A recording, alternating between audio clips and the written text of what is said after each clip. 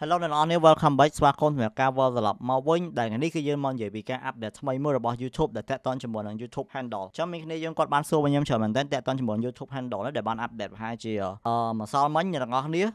ហើយនេះគឺជាការ update YouTube ថ្មីមួយដែលអាចធ្វើឲ្យបងប្អូនងាយស្រួលនៅក្នុងការស្វែងរក channel ណាមួយបើទោះបីជា channel របស់បងប្អូនទើបតែបង្កើតក៏ដោយដែលវាខុសប្លែកកាលពីមុនកាលពីមុនបើសិនជាអ្នកចង់រក channel ណាមួយតើអ្នកទាំងអស់គ្នារកដោយតាមរយៈឈ្មោះរបស់ channel អញ្ចឹងណាហើយ តទៅ channel ហ្នឹងបង្កើតបានរៀងយូរហើយ channel ហ្នឹង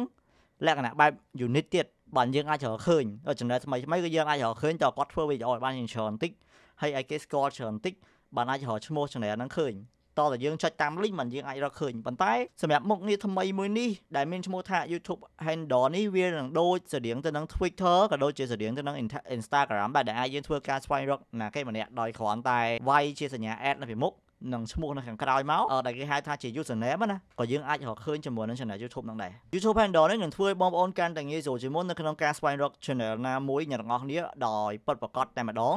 តាមរយៈការស្វែងរកទៅលើ YouTube Handle នេះនឹងធ្វើឲ្យបងប្អូនអាចរកឃើញនៅ channel ទាំងមូលតែម្ដងគឺឃើញលក្ខណៈដូចជា home page មួយអញ្ចឹងដែលឃើញជាវីដេអូផ្សេងផ្សេងដូចជា last video popular video ក៏ដូចជា short video ជាដើមអីចឹងទៅ អញ្ចឹងសម្រាប់សម្រាប់ channel ដែលអាចដាក់ជាមួយនឹង YouTube handle នេះបាន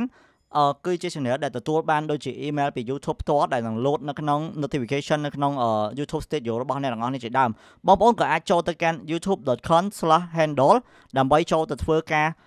ស្វែងយល់ពីព័ត៌មានបន្ថែមក៏ដូចជាធ្វើការ customize ទៅលើ YouTube handle របស់អ្នកទាំងអស់គ្នាបានផងដែរនៅពេលដែល YouTube បានបញ្ចេញមុខងារមួយនេះសម្រាប់ channel ដែលមាន URL ស្រាប់អ្នកទាំងអស់គ្នា channel ដែលមាន URL ស្រាប់តើនឹងបានធ្វើការផ្លាស់ប្ដូរដូចម្ដេចគឺ YouTube នឹងធ្វើការកំណត់ handle ជូនបងប្អូនដោយស្វ័យប្រវត្តិតែម្ដងដោយគាត់យកអា username របស់ YouTube channel របស់អ្នកទាំងអស់គ្នានឹងយកទៅដាក់ជា handle តែម្ដងប៉ុន្តែអ្នកទាំងអស់នេះក៏អាចធ្វើការ customize បានដែរបើសិនជាអ្នកចង់ដូរអត់ចង់បាន handle មួយហ្នឹងទេ Yeah សម្រាប់ YouTube handle នេះអ្នកអាចធ្វើការ customize បានរហូតដល់ទៅជា30តួអក្សរអ្នកនរគ្នាអញ្ចឹងអ្នកត្រូវចាំថា handle គឺជាអក្សរដែលអាចឲ្យគេរកឃើញជាមួយនឹង channel របស់យើងវាប្រៀបដូចជាការរកទៅលើ Twitter របស់អ្នកគេម្នាក់ឬមកក៏ Instagram របស់អ្នកគេម្នាក់អញ្ចឹងអញ្ចឹងមុននឹងយើងដាក់អ្នកនរត្រូវតែគិតឲ្យច្បាស់ថាដាក់ទៅគេអាចនឹងរកឃើញយើងអត់តាមរយៈអក្សរមួយហ្នឹងដែលវាគឺជាអាចនិយាយថា គឺជាពាក្យ the best មួយសម្រាប់ channel អ្នកនរគ្នាអាចឲ្យគេរកឃើញយើងអញ្ចឹងជាដើមអញ្ចឹងទៅយ៉ាមិនមែនចេះដាក់ណាអ្នកនរគ្នា so